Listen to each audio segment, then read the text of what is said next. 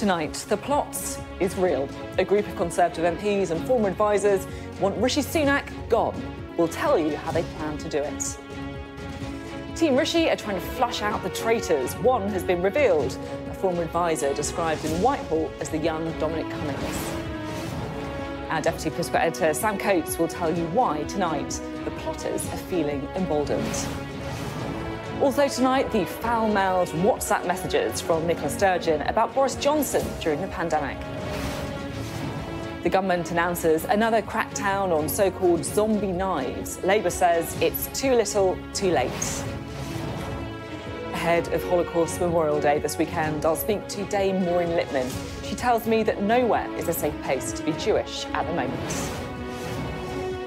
And as a journalist here in Westminster bids to become a Labour MP, we'll have a little quiz for you on some other names you might recognise who crossed the divide from hack to parliamentarism. All that and more with James Starkie and John McDonnell, who will be with us for the next hour. It's Thursday. I'm Sophy Ridge, live from Westminster, and this is the Politics Hub.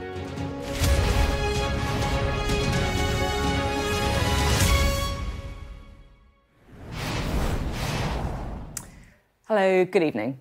It's hard to overstate just how bad things are looking for the Conservatives right now. As an election approaches, the received wisdom is that the polls should narrow. Well, if anything, the Labour lead is widening. And something else is going on too, something quite significant. You see, when Rishi Sunak first became Prime Minister, you know, in the days of his swishy videos with hoodies and sliders, he was seen as an asset to the damaged brand of the Conservative Party. But now that's changed. In October, according to polling by More in Common, 37% said Rishi Sunak was an asset to the Conservatives, 33% didn't. But in January, it's more than flipped. Only 26% see Sunak as an asset, and 43% say he isn't. So you can see why some Conservatives are questioning whether a presidential style election campaign with Rishi Sunak as the focus is a good idea. And some more restless party members might feel like there's nothing to lose with a change of leader things can't get any worse. Now, the MP, Simon Clarke, an ally of Liz Truss, is one calling for the PM to go. No one likes the guy who's shouting iceberg, he said, but I suspect that people will be even less happy if we hit the iceberg. As one political hat put it, I think if I was such a strong supporter of the PM outlived by a lettuce, I'll be careful about being the guy who shouts iceberg. So Simon Clarke's one man rebellion sparked more ridicule than revolution this week, and Westminster moved on. Well, some people in Westminster moved on, but not our deputy political editor, Sam Coates, who's been doing a bit of digging and discovered the plot is very much still alive. Incredible as it might seem in election year, once again, there is a plot. An attempt to unseat the Prime Minister by fellow Conservatives, the very people he's trying to get re elected. This group mostly working for free, believe the pain, the chaos of changing leader for a third time in this parliament would be better for the Conservatives on election day than sticking with Rishi Sunak.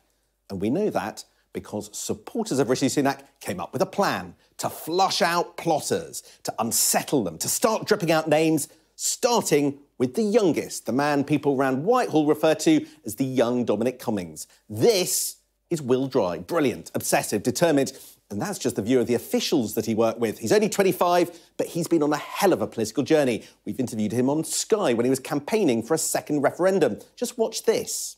Hi, I'm Will Dry, uh, and I'm co founder of Our Future, Our Choice, which is a group of young people calling for a people's vote on Brexit. But despite what you just saw, he still worked for Michael Gove and then Rishi Sunak in number 10 as his pollster, but quit just before the new year. He wrote, I resigned before Christmas after steadily becoming more dispirited. Everyone in this country can see just how colossal the challenges that we face are. Sadly, it became clear to me we weren't providing the bold, decisive action required to overcome those challenges. This gave the plot fresh momentum.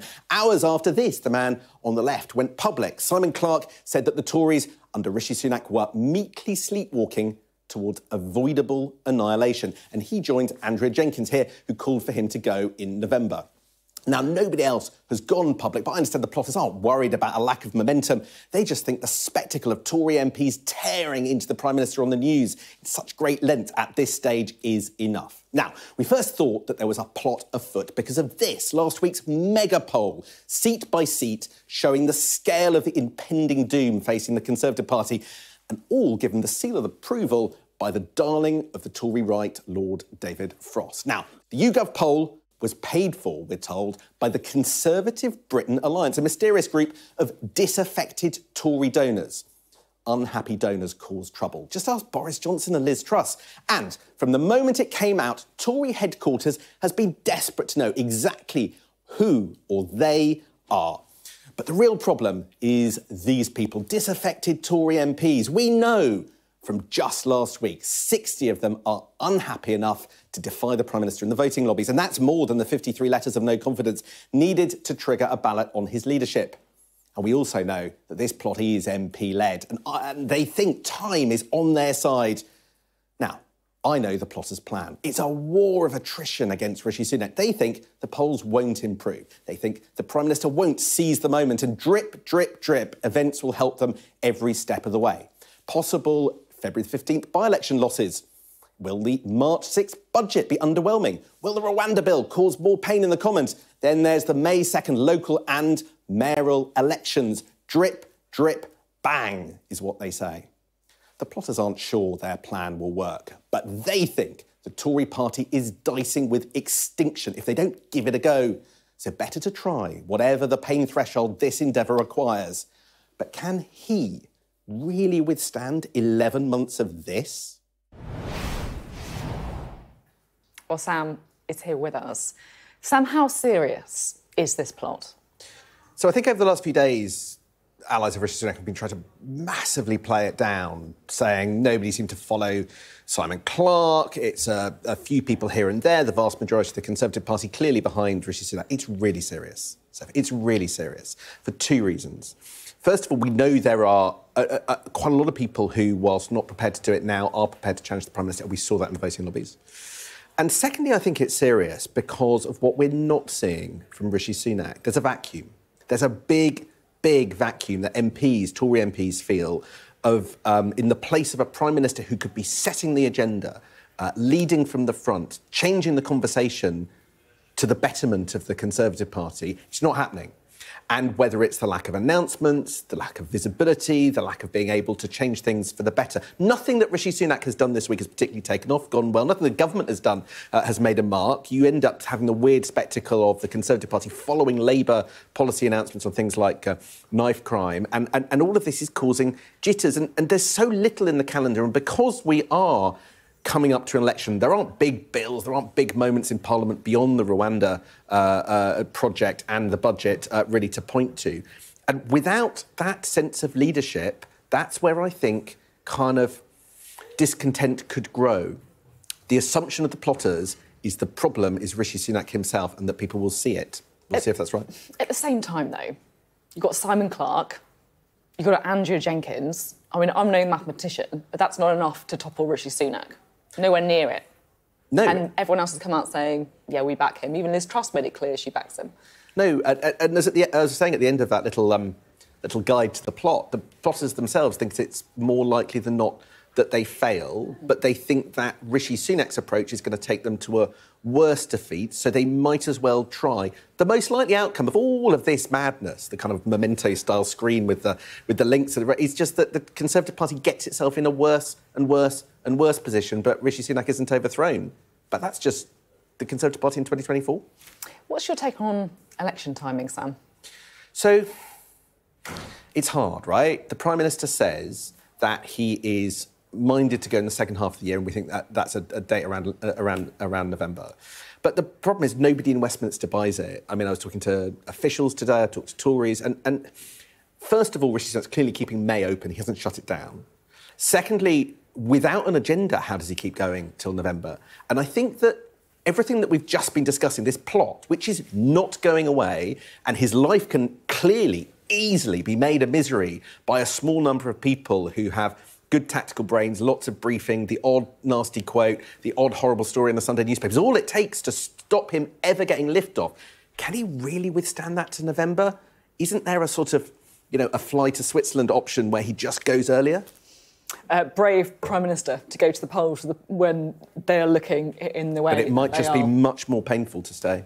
Uh, Sam, thank you very much uh, indeed. Sam Coates there uh, with the full expose uh, on the plots. Uh, right, let's bring in our duo uh, for tonight, shall we? Joining us are the former Conservative Special Advisor James Starkie and the Labour MP John McDonnell. Great to have you both on the programme. James, someone who's very well connected in Conservative circles, how seriously are you taking this plot? Well, I think in terms of, as Sam laid out, it should be taken seriously because they're quite able they're able to con, to inflict damage. So since the beginning of the year, it's probably now for two weeks been one of the main topic of conversations. We had the poll that Sam mentioned, which dominated the news agenda really for a day or two. Simon Clarke, and then today the discussion about the advisors. So it needs to be taken seriously in that. But I think the interesting thing is the analysis, the broad analysis is perhaps not that disagreed upon, which is the Conservatives are likely headed for a defeat. The big question really is the division is perhaps more about what can be done about that. Is that some people want the Prime Minister to be more bold and still think there's a chance, if you look at the economic figures, they're going to improve. And some people, and it seems very few people at the moment, particularly MPs, as you said, only two publicly said anything, think that maybe a change of leader would lead to success. So that's really the big division that's going on, I think. I mean, you've had your fair share of, of parliamentary battles. I think it's fair to say of plots and plots, you know coups, exactly coups, yeah. all, the whole lot. Where, where, where would you rate this one? I think I think it's serious. I think you're right. It's serious. His Sunak's judgment is if it comes to May and he gets hammered in the local elections in May, which he's likely to be, he's a goner anyway. So I think he may well want to pull stumps before that and maybe tell them, right, we're going to go for a May election. That might save him, I'm not sure. And also, I have a rule of thumb about Tory plots. It's always where's Michael Gove in all of this because he's mm. usually the one who will find identify. He's usually a kingmaker these days as well. But I don't. I don't think it will rescue them anyway because it's a. It's, you can't just blame Sunak for what's happening at the moment. You know, you've had Cameron and Osborne years of austerity. You then have Theresa May fumbling it. Then you have Johnson, and then Truss, disaster after disaster, and things are in crisis. And, and I think people are saying, hang on, there's a, there's a country to run here. You're fighting amongst yourselves. I think the country will just want a great relief to get the election over with and move on.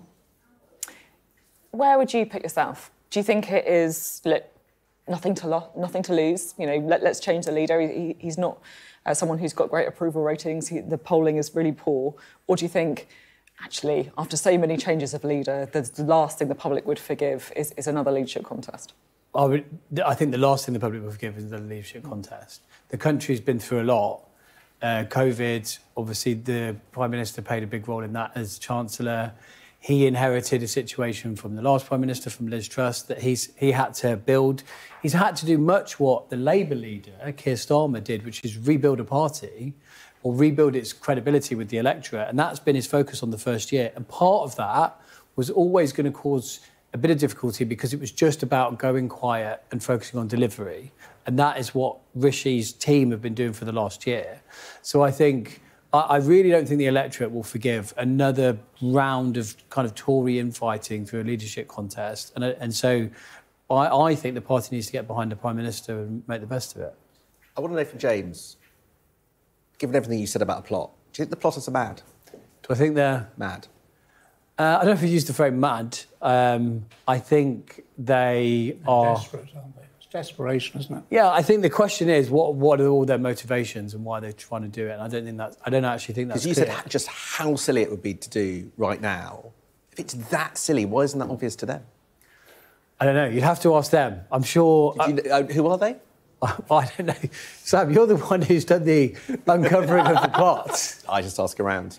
Yeah, you're the, you're the journalist here. But I think, um, look, I do, I do think it would be crazy for the party to do that. I, I, don't, I just think all of the issues that face the country now, and, and whichever party we're in, we all agree on the issues. We all know what the problems are facing the country, cost of living, the NHS, and that kind of thing.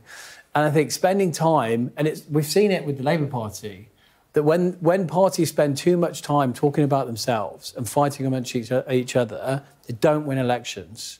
And that, that's, that's the lesson from every election. Last thing, you said it depends on their motivations. Who, who benefits from this? Well, at the moment, I would say the Labour Party. But who is who inside the Conservative Party doing this because they think they're going to benefit? Well, no, th- these things are conspiratorial plots for a reason, and I would leave it to journalists to uncover who's behind these plots. It's a really good try, can I just say? You know, I feel like we've just see- had a glimpse, on-air glimpse of uh, the sort of persistence, shall we say, of uh, Sam Coates. Like any crime, follow the money. Follow the money, yeah, because a bit of money's around some of that polling that's been in the papers as well, right? Uh, very uh, interesting. Sam, thank you uh, so much, uh, and thanks for the analysis too.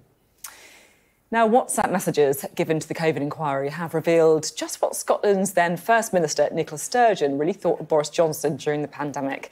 In exchanges with her Chief of Staff, Ms Sturgeon described him as an effing clown whose government's communications were effing excruciating.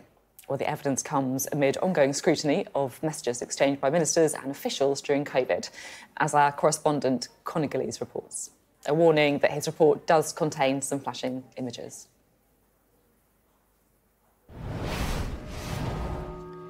This is what lockdown looked like a period of pain, a period of loss, a period no one will ever forget. Four years on, this is the time for questions and answers from Scotland's First Minister, who was Health Secretary at the time. The first glimpse into the government engine room at the time. I swear by Almighty God. Appearing at an inquiry now engulfed in a scandal after it emerged Nicola Sturgeon wiped her WhatsApps. Let me unreservedly uh, apologise to this inquiry, but also uh, to those who are mourning the loss of a loved one uh, that was bereaved by COVID, uh, by COVID for the government's, frankly, poor handling of the various Rule 9 uh, requests in relation to informal messaging messages. There's no excuse uh, for it. Here is the former First Minister with her then Chief of Staff Liz Lloyd.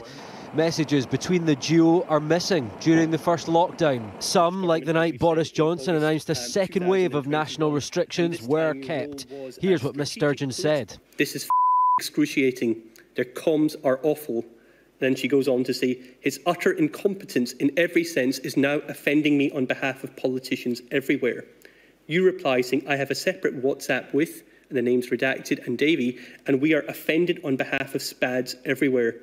Nicola Sturgeon says, he is a clown. Hi, Nicola, how you doing? Lloyd was one half of a powerful pair, telling Nicola Sturgeon she wanted a rammy with Westminster over furlough to avoid having to think about sick people. Ms Lloyd, is it a betrayal that Nicola Sturgeon has deleted all I, of her WhatsApps? I've said my piece to the inquiry. That's the appropriate place to answer the questions and I've nothing further to say. Is add. it a betrayal, though, that people have died and there is no record of your informal messages between you and the First Minister? Well, there is. I've just provided it to well, the inquiry. for, there I are have months said, missing. I have answered the questions of the inquiry. That's the responsibility. I've set out my piece to the inquiry. I hope that is helpful to everyone who is looking for answers. And I have completed my task. First Minister. He, though, may not have completed his task, and neither has the headline act Nicola Sturgeon, who arrives at this inquiry on Wednesday in what could be her toughest test yet. Conor Gillies, Sky News, Edinburgh. Well, we can chat again to James and John. Um, John, pretty excruciating messages revealed uh, from the former First Minister. What, what do you make of it? Everyone's covering their backs, aren't they? Desperately covering their backs all the way through this. I'm not sure that we're getting much um, light mm. from mm. the politicians who are providing information. From the experts, we are. And what's coming across is chaos. Mm. But I have to say, I'm not making a party political point on this. I mean, particularly around Boris Johnson in particular, there's a running theme about the chaos around him um, even from the officials who I, I, trust more than I do the politicians on this. So yeah, everyone's just they're just covering their backs. As simple as that, really. Do you agree with that analysis? Or? I think the wide. I think there's a growing feeling with the inquiry that look, I get, I get why these things are interesting, newsworthy, the the WhatsApps, and I don't. I'm not sure many people would love to see their WhatsApps no, broadcasted to the world. Definitely fair. But I, I, do think it distracts from what the inquiry is actually looking to find out, which is to understand how you know how you can improve a response to this type of That's issue. That's why the expert evidence mm. is so much better. Mm. And I agree with John. I think the expert mm. stuff is more interesting because we don't have some of those that kind of sensational WhatsApps. The, the, the questioning focuses around mm. issues of the workings of government and how well it worked. And I think when we get the politicians, and it's not party political because it's, it's mm. pol- politicians of different parties, it's focusing on these WhatsApps, which, as I said, I understand, but I don't think it really helps the sum of, you know, kind of progress I guess knowledge. it, it is a bit of a problem, though, WhatsApps, right? Because, yes, government business does seem to be have been done in a WhatsApp.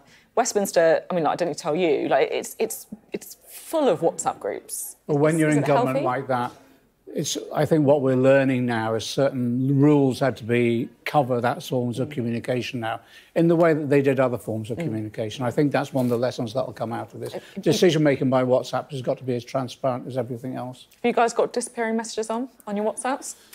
Not set. To, I mean, I might do now. Yeah, I feel like watched I should do it, but I don't. Yeah, Yeah. it's true. No answer from you. I'm, I'm sure I have somewhere. I'm sure I have. And I, Don't stay quiet there. No, no, I, I'm sure I have somewhere. I, half the time I can't find them, but there you are. but anyway, and also, I admit occasionally I, I, I do swear occasionally, and so so we're- Yeah. no one's a saint in all of this. Yeah, I think that's definitely. I think we're all saying we don't want our WhatsApps. Yeah, it would not be. Yeah, I, I'm very pro that. But then I guess I wasn't making decisions during COVID. Uh, thanks both uh, very much indeed. The latest political news will naturally feature in tomorrow's newspapers. We'll have our extended press preview and news review from 10:30 this evening, with tonight's news and tomorrow's headlines.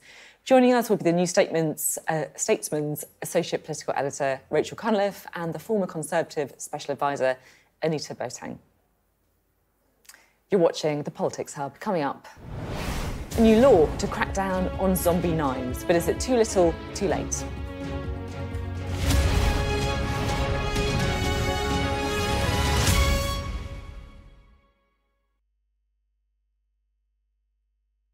I'm Katie Spencer and I'm Sky News' arts and entertainment correspondent. When you think of Glastonbury, it's mud you want and music. They're going to cross to us live in a minute. Okay. We always were capable of doing this. Oh, they're wonderful children as an audience. Who did that? Maverick here on the red carpet. I'm so excited. We take you to the heart of the stories that shape our world. Nor have I ever struck any woman in, in my life. There's this illusion of power. Are you feeling well? I remember covering the Oscars and that now infamous moment, the Will Smith slap. You can tell from these crowds just how excited people are for the return of Pride. These actors playing the lead roles were born long after the Sex Pistols broke up. As a team, we've interviewed some of the biggest stars in the world. Okay, I'll talk to you. Thank please me. Yeah, okay. There's no easy goodies. There's no easy baddies. Thank Thank you. you. Thank you.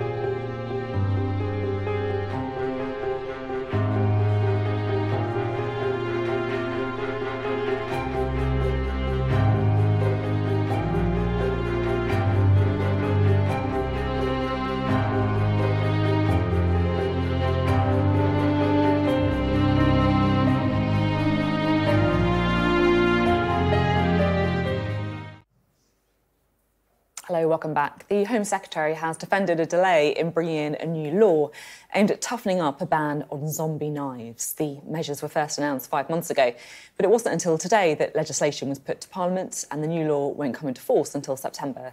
James Cleverly says he acted immediately on the issue when he became Home Secretary, but Labour and anti knife campaigners say it's too little, too late. Sky's Molly Malone reports. This is a symbolic game with a serious message. A hoop shot for every stabbing victim here in Newham over the last year. Police officers playing sport with those affected by knife violence. An unusual match to raise awareness of an ever more common crime. I lost a close friend. Then a few weeks later, I lost another friend. Anthony's lost friends to knife crime and now campaigns for change.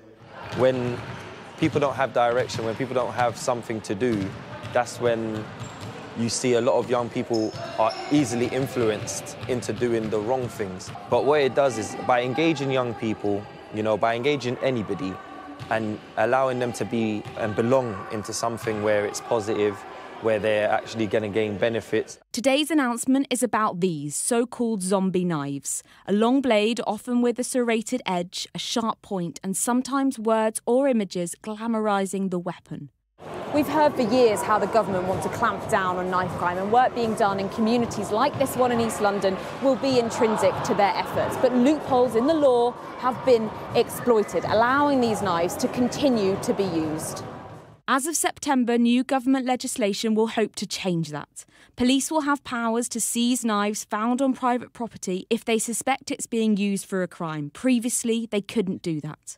The definition of a zombie knife will expand to include both knives with images and words on and those without, while the maximum sentence for possession will increase from six months to two years. We have already taken uh, action to make the carrying of zombie knives uh, illegal. Uh, when I became Home Secretary, I made the immediate decision to go further. So I'm very pleased we're taking action now and will be uh, determined to get these knives off the streets. It's a cause actor Idris Elba is campaigning for further action on. I'm hopeful. A campaign launched at the top of the year. Two weeks later, we're seeing movement. I want the government to really think about this in a 360 way. I want youth services to be uh, reinstalled and, and reinvigorated. I want the charities that are doing all of this work for young people to be funded. There's enough money in this country that we can look at this carefully and offer some funding and, and, and stability for these organisations. And it's organisations like this one in Newham that are doing exactly that. And yet the problem, particularly in the capital, still on the rise. Molly Malone, Sky News in Newham, East London.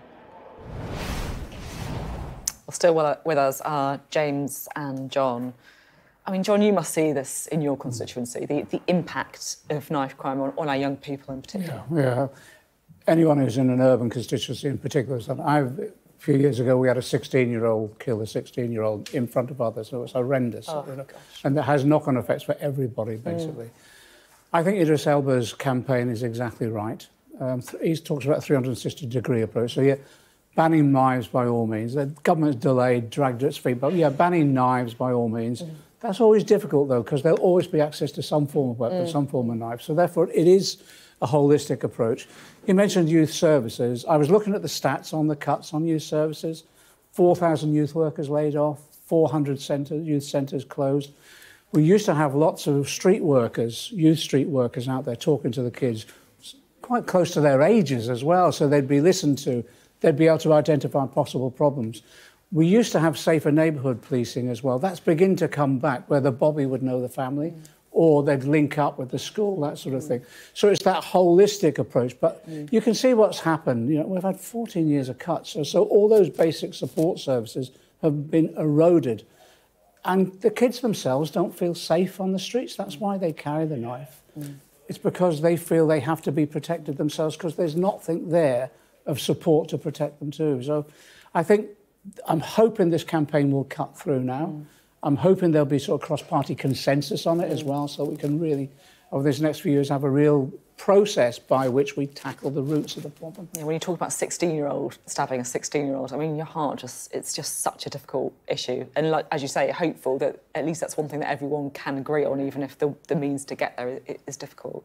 Um, yeah, you mentioned the Idris Elba campaign, and it, it's, it is an impressive campaign. He, he's really caught something, hasn't he? I think it's a brilliant campaign. I mean a lot of the time people come in having having worked in the Home Office and other departments, and the way he's laid out his campaign, it's very hard for politicians to ignore him mm. because it, he's he's he's saying I'm not political. this is an issue that I'm interested in. I'm using my platform. And as John said, there's no one thing that's going to mm. completely solve this issue. Mm. Um, whether it's you know banning knives, none of these none of these things individually are going to do it. You know, you're going to have it's going to have to be as Idris says, uh, it's a 360 campaign. It's going to have to be including something on the youth level. I started in the Safer Neighbourhoods team. Mm. John Prescott was mm. Prime Minister. Mm as an intern, and those kinds of things which are focusing on the neighbourhood as well as banning, as well as mm. increasing uh, the effect, you know, making it a longer jail sentence but the mm. punishment. All those things collectively are going to be needed because it is a real problem. We've all seen the figures, mm. and so mm. it's a it's a real it's a really really good campaign. Yeah. On the prison side as well, I work with the Prison Officers Association. Rehabilitation doesn't take place because there aren't enough prison officers. It's as mm. simple as that. And so there's lessons to be learned right the way through the system now. And it is about austerity over 14 years. So let's now look at how we can properly fund it and learn from what works. Well, let's hope something works. That's the one thing we can definitely agree on. And thank you uh, both. Coming up next on the Politics Hub, we'll hear from the actor Maureen Lipman ahead of Holocaust Memorial Day. That's coming up after the break.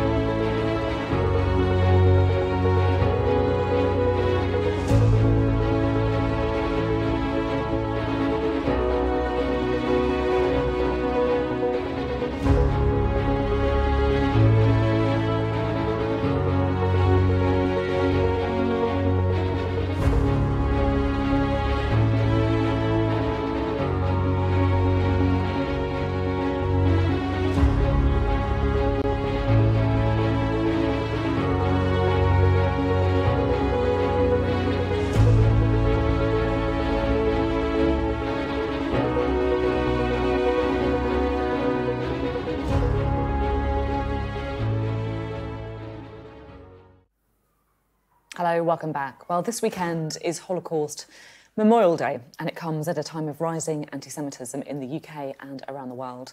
I've been speaking to the actor Dame Maureen Lipman about its importance and why she feels there is currently nowhere that it's safe to be Jewish. Thank you so much for being on the programme today. I'm really glad to have you on. Um, last year, I had the sort of privilege of interviewing a Holocaust survivor, and it's something that's always going to stay with me um, personally. Um, And I know this sounds like the most obvious question in the world, but if you could just explain why you think it's so important to really mark Holocaust Memorial Day. Well, I think if you say Holocaust Day, it informs you that it's a day to focus on uh, something which needs to be remembered. And, you know, you have Macmillan Nurses Day and you have um, Marie Curie Day, and uh, this is no different. It's just a way of saying, uh, Remembrance Day itself, the cenotaph. It's just a, a way of saying this happened uh, and we need help in putting it into place and, and, and remembering those who are suffering from it still uh, or who suffered in the last war. I think it's better than um, having a, a, a, bronze twisted piece of steel or uh, it's an educational day so that if you don't know about it and of course people like me who were born at the end of the war uh, heard uh, a lot about it. But if you don't then we're marking the slaughter the brutal uh, murder of uh, six million Jews. And I think two million uh, Romanis and uh, 200,000 homosexuals, and then the disabled, and we don't know how many that is uh, precisely. Uh, so it's a way of saying never again. It's a way of saying never should a government become so powerful that it can uh, commit a genocide um, against a section of its own people, a genocide being uh, defined as um, a, definite event uh, to stamp out an ethnic minority uh, and, and uh, with intent. So it's, it's not a war of the kind we're experiencing now in the Middle East. It's not a defensive war. Um, it's, it's, um, uh, it's saying, you are tall and we are short, so we will kill you we don't like the look of your stoop, we don't like the look of your eyes, uh, so we're going to kill you. And of course, the, the beauty of this Holocaust Day is that it takes in the genocide in uh, Rwanda, it takes in uh, Bosnia and uh, Cambodia, and allegedly Armenia, um, and even the Tatars uh, being kicked out of Crimea by the Russians. So when I say never again, I mean never again, I wish, um, because we don't learn from history. We don't know history. And, um, and we certainly uh, need to be educated about uh, Holocausts. You say never again, and I think that's such an important phrase, never again. There has been a rise of anti Semitic attacks in the UK recently. Do you think the UK feels like a safe place to be Jewish?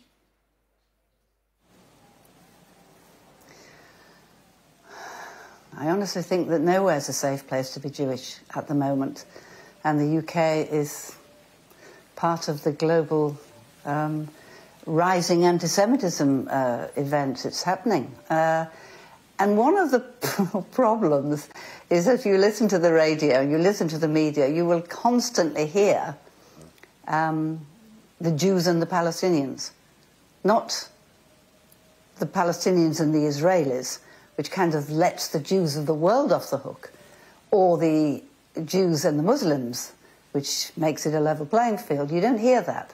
Constantly, the Jew, and it just drip, drip, drip feeds into the idea that Jews are responsible for the ills of the world. And certainly, if, as uh, some marchers believe, if, um, if we run the media, we're doing a bloody awful job, aren't we?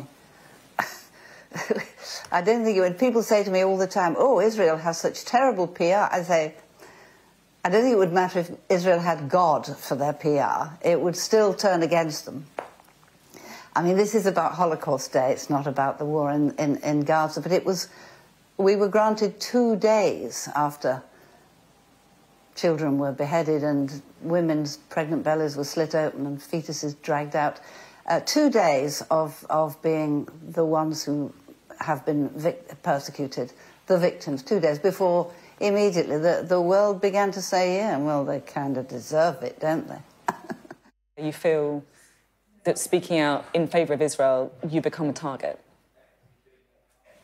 Speaking out in favour of, of, of, Jewish things, really. I, I mean, I don't know whether people realise that our synagogues and our burial grounds have been guarded by the CST. Uh, the, the, you know, we, we, we, have our own um, uh, kinds of, of, of, people who watch over us uh, for decades. Costs an absolute fortune. And we've had to because I can't get into my parents' graveyard without a key because people get in and desecrate it. It's, look, I'm not hugely frightened by any of this. Um, but I think, you know, after uh, events like Jo Cox, I think you can't really uh, take anything for granted. And, you know, there will be people who just don't like the look of me. um, so, um, yeah, that's, that's happened. And we'll see what happens in the world. I, you know, I, I pray that Holocaust Day will not be an occasion when the haters, this, the anti-Semites, choose to uh, come out. Because I know that all life is political, everything, um, but th this is not a political day. This is a day for remembrance of the victims and a day actually for forgiveness and understanding. I know that's quite hard, but when people take on responsibility for what they've perpetrated on other people, it, helps both sides. So. I know you say it's not a political day, which I completely agree with, but I will ask you a political question to end, if you'll forgive me. Um, you previously supported the Labour Party, uh, but you then said uh, Jeremy Corbyn made me a Tory. And I just wondered if Keir Starmer has won you back round again. Yes, he's a decent man. He's a good man, and he'll do his best to unite that party. But we live in the era, don't we, of 24 hour news. Nobody knew what was happening in the last Great War. Nobody reported on every single slip that President of America made. And now we're, we're afraid to, to be direct. The Corbyn thing was like something out of an Arnold Wesker play. I mean, it just happened through stealth. It happened through allowing so many people into the Labour Party for halfpenny and a bag of sherbet that, that, that he, this um, man who, you know, bless him, wouldn't stand up for the Queen and wouldn't, you know, and loved to be in Russia more than anyone. You know, this man became the leader of the party we've all, uh, that was the party of the, of, of the working class um, for years. And uh, we know that England is a middle class country, and it took a Tony Blair to get the Labour Party in, um, and and it took a, a, war to get him out. But um, I honestly, I think the, you know, there is a definition of a Holocaust. There is a definition of a genocide, and it is wrong um, of anybody in the media or out to talk about what's happening in the Middle East as a genocide. A genocide is when you, it, I'm not teaching my grandmother to suck eggs, don't get me wrong, but it is when you deliberately, with intent, target um, an ethnic group to kill them. And there are many definitions from uh, the European courts about what um, uh, genocide is, and um, and one of them is um, you know, calling for the killing of Jews or the denial of the Holocaust or the denial of the Jewish state. And that happens every time there's a march. Uh, but nobody gets uh, arrested or fined. Um, and if you say from the river to the sea, you are saying, let's, you know, kill the Jews who exist there now. So, you know, it's a difficult, it's always going to be a difficult, uh, you know, because their politics has nothing to do with me. When, when I was in Israel this year, uh, I was asked to go on a march against Netanyahu, and I said, no, I'm not a voter. I don't have a property there. This is nothing to do with me. but I've been on many marches here for Burma and against Tiananmen Square but I don't feel that you know I, that this this this business of being a Jew in the diaspora is extremely complicated. But what they're doing should not really reflect on me. I support the country's right to exist. I think it's an amazing country. I think the, the October the seventh was heinous uh, and needed retribution. Um, and I hope it stops. I would really, really like it to stop. But every time there's a news report, the tunnels are not mentioned. How would you like to have tunnels under Coventry or Birmingham? Huge tunnels filled with weapons. Uh, the hostages are no longer mentioned. The thought of your child, Sophy, or my children or grandchildren being held in a tunnel underground by brutal terrorists is not something you can forget. I absolutely agree with that. One of the interviews that we've done on this show uh, was with the mother uh, of a um, hostage who's still being held uh, in one of those tunnels. Uh, and I have to say, it was one of the most powerful interviews I've ever done. Um, thank you so much for talking to me today. It's been great to get your perspective. Thank you, Maureen Lipman. Maureen Lipman speaking to us there. Well, we can bring in uh, James Starkie and John McDonnell. I'm sure there's several things we want to pick up uh, on uh, in that interview. Um, but James, to you first. She's talking about how she doesn't think there's anywhere where it's safe to be Jewish, and that she locks her parents' grave with a key for fear of it being desecrated. And it was difficult to listen to. I mean, she also mentioned, and I've got friends that have told me about this. I think it, I found it crazy, to be honest, with two young girls of my own, that there are people whose children, seven, eight, nine, ten years old, have to go to school with with mm. protection every day. Mm. You know, today, tomorrow. Mm in, in this country, and I, I think that's shocking. Mm. And, I, and I'm not sure it's. I don't think. I think as Maureen touched upon, I don't think it's as known mm. that we've that this community in our country has had to have that kind of protection on their schools, on the place where they bury their dead. Have had to have 24-hour protection and keep it under lock and key to go and see one of your loved ones, and that's going on every day. And it got a lot worse recently. Mm. You know, whatever your views on these things, there was a rise recently and it's got a lot worse, and it, that you've had to have protection around the synagogues and so on. And I found that deeply depressing, if I'm honest. Mm, mm. John? Yeah, it's saddening, absolutely saddening. It's, it's horrendous, absolutely horrendous. And we can't tolerate it. We've got to campaign against it. On, there's Islamophobia as well. Mm. Um, at the Muslim Women's Centre in my constituency, there was an arson attack. Mm. And what the arsonists did was broke in and burnt the room where the Qurans were stored. You can imagine the impact that has on, on, on Muslim women or Muslim followers. So we've got to try and we've got to tackle this intolerance. We really have, and uh, again, it's about sharing understanding mm. of how people are being treated at the moment. Making, as James said, getting the message out there. Did you know this is happening? And how are we going to work, stand together, and do that? Um, and trying to share that understanding. Um, it's Holocaust Memorial Day, so this is, I agree with you. This isn't the day to get involved in the row all the rest. I actually think the media have been covering the stories from Gaza and Israel, certainly in terms of the what happened on October the 7th. They have been covering what's happening with regard. I've seen it on Sky. You've done the interviews, both in terms of the impact of the Israeli Defense Force attacks on Palestinians.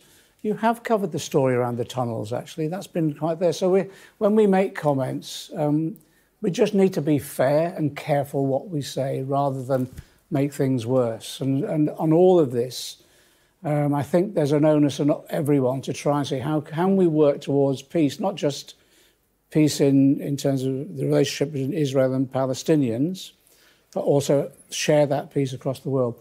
Good point that um, she made, Maureen made, was it's important the language that you use as well. This is Israel and Palestinians. This is not Muslims and Jews. This yeah. is not that at all. By I thought that was an important and, well, and it's interesting. I have been at various vigils. I was at a vigil up in Harrow last week and all the rest of it. And beside me was an Anglican. Mm. And then there's a Jewish speaker, and then there's a Palestinian. That's the way forward. We do it as a united way. And we show the suffering that's engaged by all people, and how do we come through all of this. Did you want to come in on the Jeremy Corbyn? I don't uh, think point? that was fair what Maureen said. Look, Maureen resigned her Labour Party membership under Ed Miliband because of his, his position on recognising Palestine. And Ed was our first Jewish leader, and I found that extraordinary then. I think Jeremy really did his best to try and, first of all, expose anti Semitism, both in our party and wider. He tried to set up mechanisms for dealing with that. I think we were hampered by our own bureaucracy. We were involved in coups against us, would you believe? We were hampered by our own bureaucracy, but we tried to overcome. So I don't think she was fair. But we've always said that the stats showed actually the, the anti Semitism in the Labour Party numerically was very small. Mm. But it didn't matter. If there's one anti Semite, it doesn't matter. If there's just one, too many. And of course, there was um, reports into it that raised concerns about it at the time that I'm sure you all. And, and we've set up the structures to be able to deal with. The first party that did that as yeah. well. Um, I was quite moved by a lot of what she said, and you know, it does. It's. I think it's important to you know reflect on the day and the, like she says, the kind of centuries of yeah. uh, anti-Semitism uh, that Jewish people have uh, the experienced. Point she made was as well the Holocaust Memorial, what the, the organisers of all of this have said it is about other genocides as well, yeah. Rwanda and others, and how you learn the lessons yeah. from those. And although she said, you know, this issue around Gaza, etc., we'll see what the, internet, the ICJ, the court says about the genocide or not. But actually, you learn lessons about how to treat one another and the suffering that goes on when you go into those sort of actions in which civilians and children in particular get and, killed. And the point that you were making earlier as well about the fact that you know people don't feel safe uh, in our communities if, if taking their children to school, um, burying their dead, and actually, you know, it's something that I've reflected on a lot as a, as a journalist as well. The responsibility for uh, everyone has been fairly uh, represented. Thank you uh, both. Coming up next on the Politics Hub. Well, as the political journalist Paul Waugh reveals he wants to be an MP, can our panel identify other famous poachers turned gamekeepers?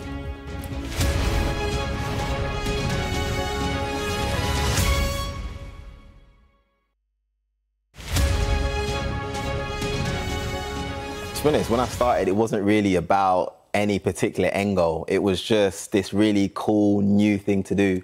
I was obviously a big Usain Bolt fan at the time, so there was a part of all feeling like, oh, I'm a sprinter just like him. Yeah.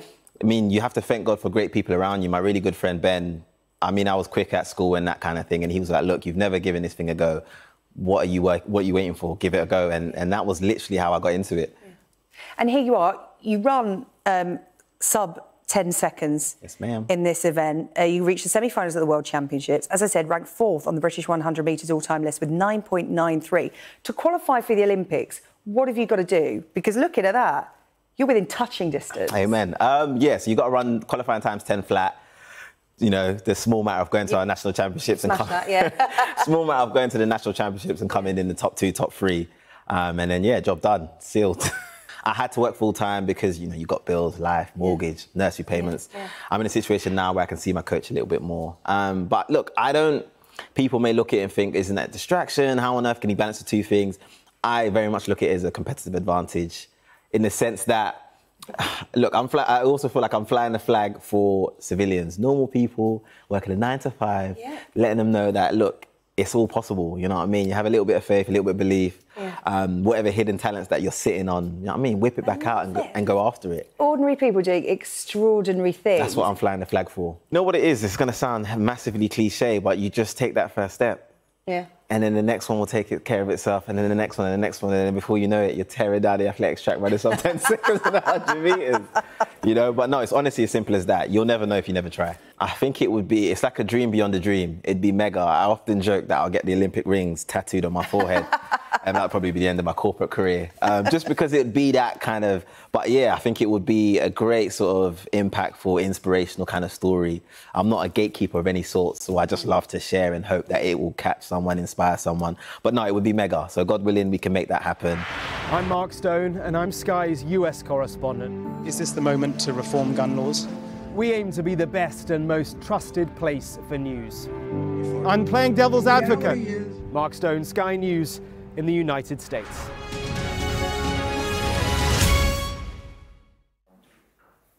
Hello, welcome back to the Politics Hub.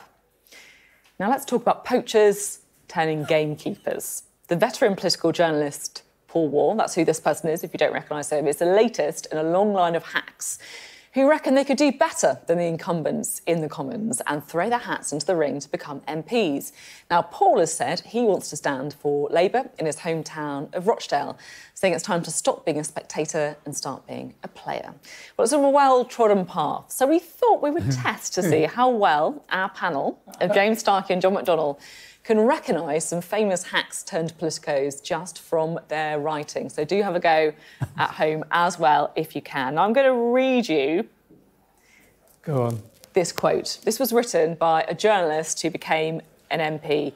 They fired their rifles, pressing their muzzles into the very bodies of their opponents. They cut bridle reins and stirrup leathers. They would not budge until they were knocked over.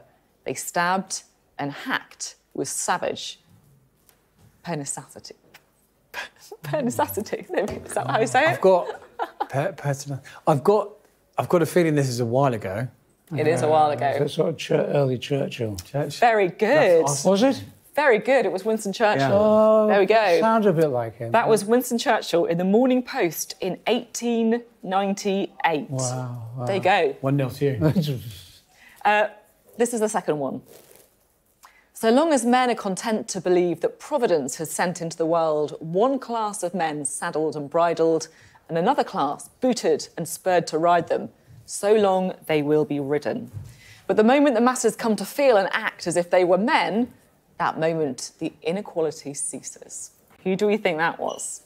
It's Labour, isn't it? It is Labour. Yeah.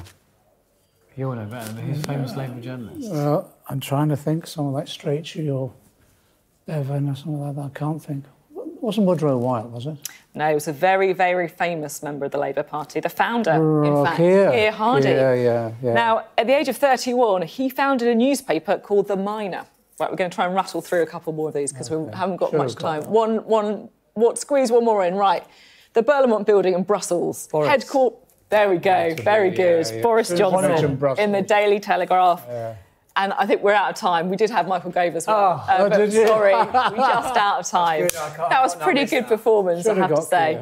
Thank you both uh, for uh, about being good sports for the quiz as well. Well, that is it from us tonight. I'll see you tomorrow at 7. Up next, though, it is the UK Tonight with Sarah Jane Mee. We'll see you next Monday at 7 pm. See you then.